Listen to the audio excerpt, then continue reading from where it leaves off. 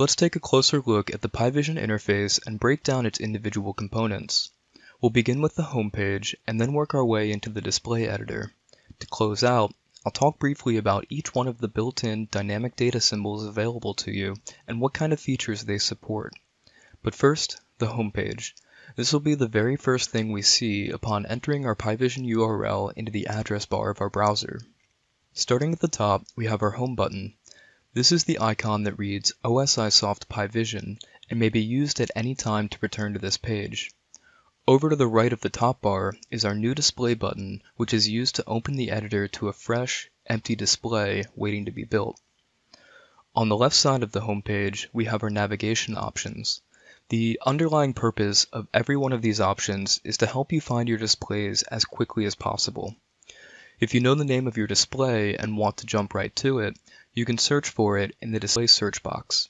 Alternatively, keywords can be associated with each display, and by filtering on those keywords, you can find the display or group of displays you have in mind.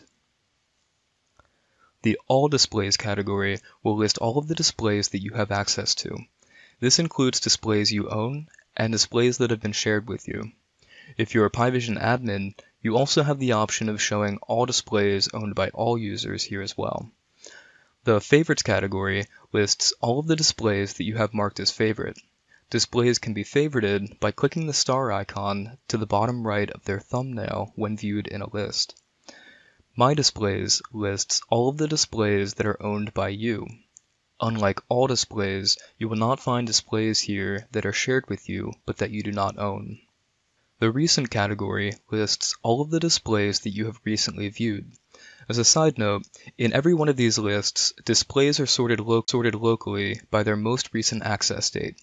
So for example, while My Displays will only list displays you own, they will also be ordered by how recently you have viewed each one.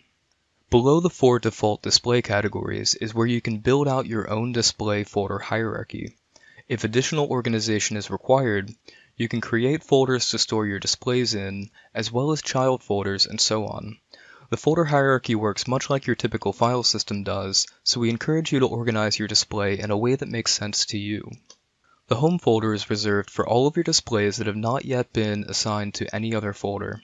If a folder-based organizational style does not appeal to you, the home folder will operate very similarly to the All Displays category. It's worth mentioning that organizing your displays into folders will have no bearing on what each one of the default display categories returns. Even if a favorited display is tucked away in a folder three levels deep, you will still find it in your favorites. Not least are your displays. To the right of the navigation options, you'll find a list of displays that corresponds to which folder or category you're currently browsing. You may or may not see any displays listed at the moment, but don't worry, we'll get there when we start building some out. For now, let's click on the New Display button and explore the display editor in detail.